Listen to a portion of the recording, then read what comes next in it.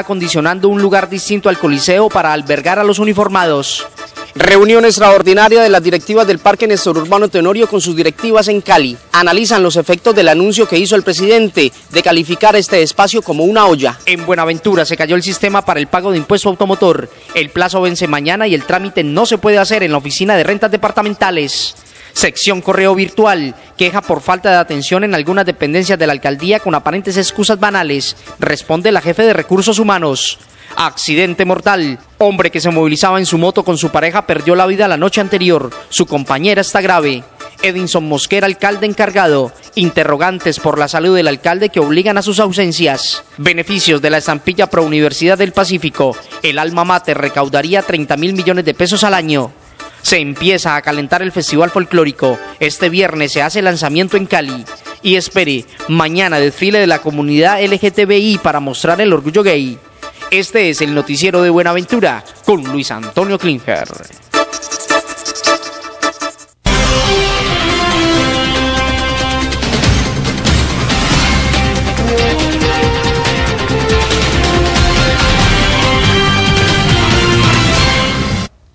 Hola, ¿cómo están? Bienvenidos al noticiero de Buenaventura, el informativo que todo el mundo ve. Vamos de una vez con toda la información. A raíz de lo ocurrido con el caso de la gente de la DEA que fue asesinado en Bogotá, originado en gran parte del país, cuestionamiento respecto a la seguridad en los taxis. Gran parte de los vehículos legales son manejados por algunas personas vinculadas con la delincuencia común, lo que coloca en tela de juicio el transporte urbano en el país. Ante los últimos casos que se han registrado en el país con taxistas que han participado en delitos y también en Buenaventura donde hubo un caso de suplantación de identidad por parte de un conductor de ese tipo de vehículos, le preguntamos a la ciudadanía qué tan seguros se sienten cuando abordan este servicio de transporte público. Las opiniones son variadas. En los taxis me siento seguro, pero en los colectivos y Carpati no. ¿Qué siente seguro en los taxis? Por lo, en los taxis pues siempre uno va y son tres o cuatro pasajeros y, y más o menos conoce uno el personal, pero en los colectivos se monta toda clase de personas y por lo que uno ha habido los atracos en ellos. Sí, me siento seguro en Buenaventura cuando abordo los taxis. Sí. ¿Y en los colectivos no? No, ahí sí no, colectivos no. Eso hasta que no le pongan su taxímetro no se puede saber quién es quién. Aquí llega a manejar, el que quiera viene y maneja aquí, por eso se ve mal, el maltrato con el usuario. A mí me da miedo. Cuando se montan dos, tres hombres me da nervio. Sí, a veces hasta me he bajado y he aportado un colectivo. No, prácticamente me siento inseguro. No, porque prácticamente el, el lance de seguridad aquí en Buenaventura eh, prácticamente ha avanzado bastante, bastante. Y prácticamente estamos viviendo un- unos tiempos de mucha descomposición social. Pues hombre, la verdad sea dicha, yo no puedo decir si sí o no, porque la verdad es que yo no ando en taxi. Yo tengo mi vehículo en particular. Los ciudadanos coinciden en que las autoridades y las empresas de servicio público deben tener mayor control para evitar que este tipo de personas estén conduciendo los vehículos, para así evitar que se registren hechos de inseguridad en los taxis.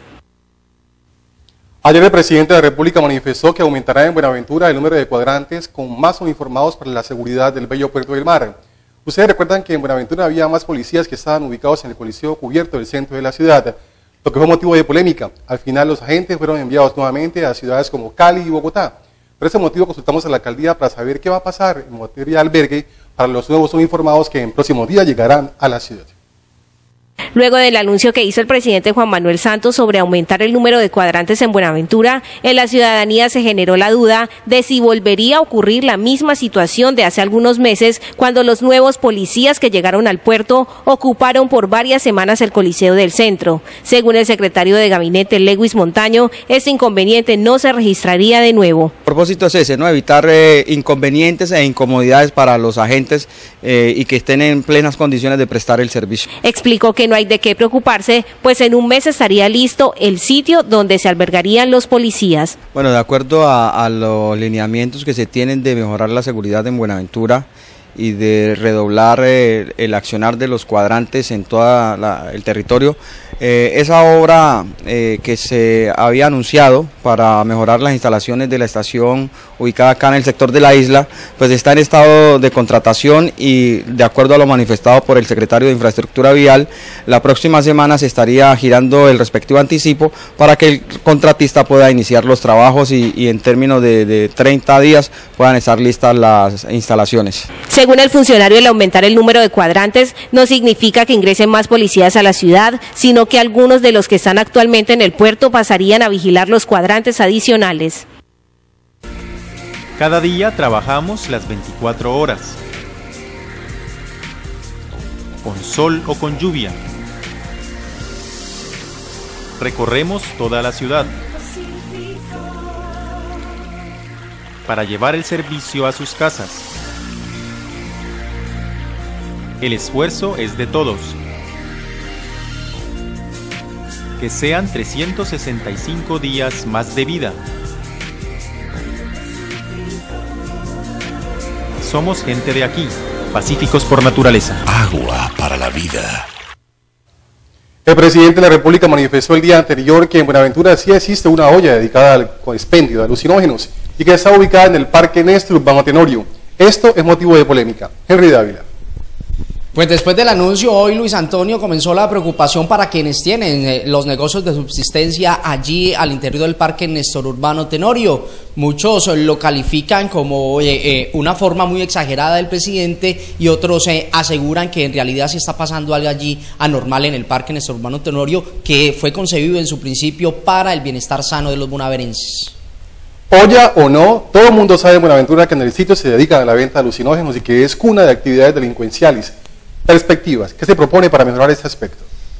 Al parecer, después del mes de julio, que se tienen algunos compromisos con algunas empresas que se asentarán allí con actividades durante el Festival Folclórico del Pacífico, se entrará ya a intervenir de una manera muy exacta, con órdenes ya del presidente de la República y a quien asignaron eh, allí para eh, esta parte de seguridad, a tener una cara muy distinta en el Parque Néstor Urbano Tenorio.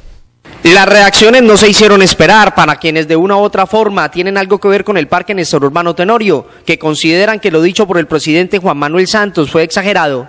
De pronto estar acá es una cosa muy diferente, que, sucedan cosas puede ser, pero no como él lo, lo tomó o lo dijo, porque pues a veces les informan tan mal a las cosas a las personas que uno queda sin palabras.